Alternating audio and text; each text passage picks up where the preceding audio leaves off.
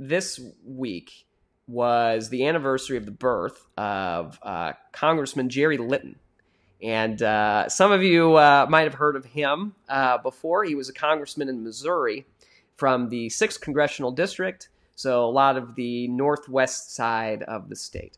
And uh, he uh, was very popular for a show that he started and was called Dialogues with Litton.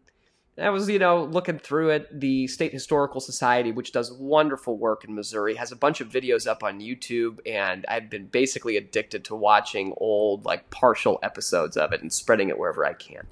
He would have folks from different parties on his show, uh, people from all over the country would come to Missouri to talk about the issues, to have candid conversations, and, you know, to really find a lot of areas of agreement. Um, and you know I'm, I'm looking at what what this whole setup has become and it's it's it's really exciting to see i hope that maybe we can bring some of that back into our conversation. So um, uh, unfortunately his life was was was lost far too early uh, because the day that he won the primary election to uh, become the democratic nominee for united states senate um, his plane crashed. Uh, he was riding with uh, a friend, um, and his whole family was there. And uh, unfortunately, they all they all passed away. Um, so there's a lot of a lot of memorials up for him. Um, there's a mini documentary that was made, but I wanted to to, to throw back a little bit. And so I'm going to play this. I know we're we're over time, but you know I think it's important for us to kind of see it. So if you got some time, uh, peer back into the history of Missouri, and maybe it can give us some guidance on where we can move forward with all of this.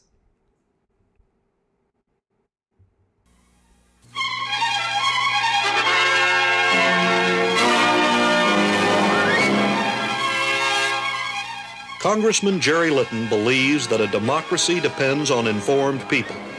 He also believes our government should be more open and accessible to the people. To better inform you of what is happening in your government, Missouri's 6th District Congressman Jerry Litton invites Washington personalities to come to Missouri each month and join him in an unrehearsed, question and answer, open to the public town meeting to discuss key issues facing our nation. Dialogue with Litton brings you closer to your government and Washington closer to you.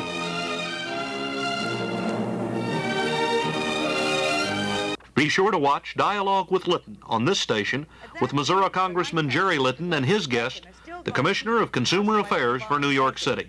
So you've got an interest in the way food reaches the supermarket because if your good sows get into you have learned so bacon. much since what? you came to New York. I know what a gilt is too, you know.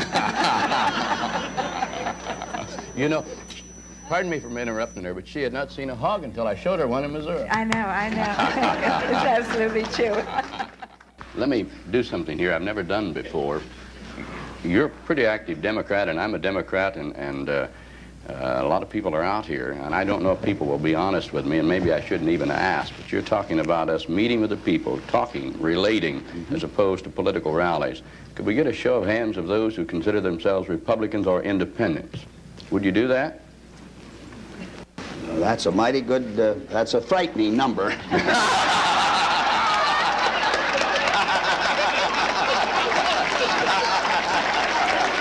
Jerry, you're right. Woo! Imagine, you don't, you think there are more now than there would have been when we started? Jack is running for reelection, and, and I know uh, he has some commitments back home. And Jack, you don't know how much I appreciate your taking time to be with us and be with my people here in Missouri today. Thank you very They're much. They're lucky people. Thank you. And uh, we talk about representative government. Well, we really don't have representative government. To have it representative, they've got to be able to understand our feelings and our concerns. We need more farmers, businessmen, homemakers, housewives, people from the real world serving in public office so they can represent us. You don't have to be hungry to understand those who are hungry, but it helps.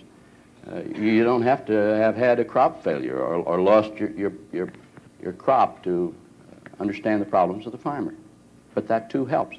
Neither do you have to fill out dozens of forms every day to understand the problems of businessmen, but that too helps.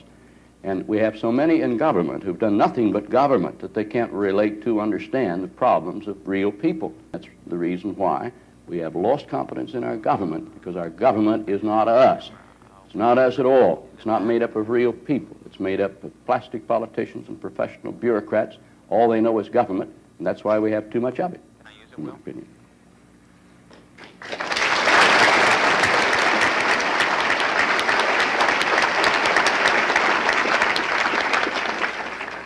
I might further add to that that I think also that it would be good uh, because we are planning on extending our dialogue program and sharing it with the people of Missouri. And because we, we, would like for them to feel like we feel with you all. We feel close and uh, we know you're our friends. And this is what we would like to do statewide, is to bring the government closer to the people so that we can talk and know what the people feel. And we feel that we'll both be better off.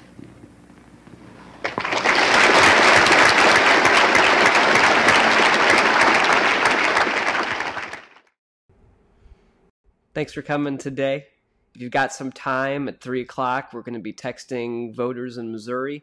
Uh, you're very welcome to come to that. And as always, you can visit us online anytime you'd like at eladgross.org.